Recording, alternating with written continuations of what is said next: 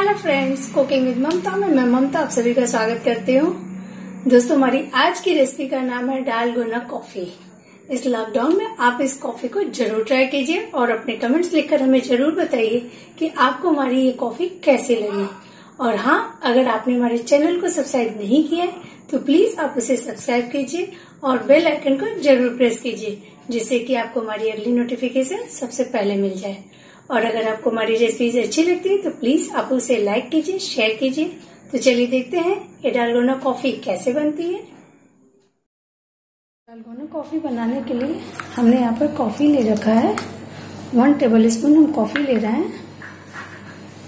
और one table spoon शक्कर। और यहाँ हमने गुनगुना पानी ले रखा है। इस पानी को हम इसमें डालेंगे। और इन्हें अच्छे से फेंट लेंगे। हम इन्हें खूब अच्छे से फेंटेंगे। आप चाहें तो चम्मच से फेंट लीजिए, नहीं तो हमारे पास बिटर रखा हुआ है।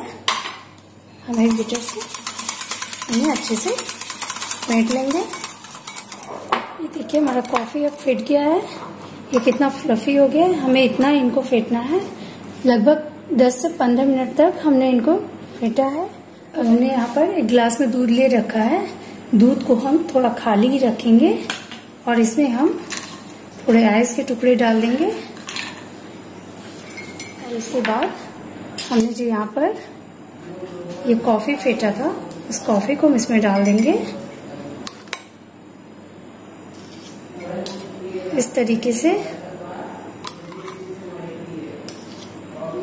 ये पूरा हम इन्हें इसमें ऐसे ग्लास को फुल कर देंगे।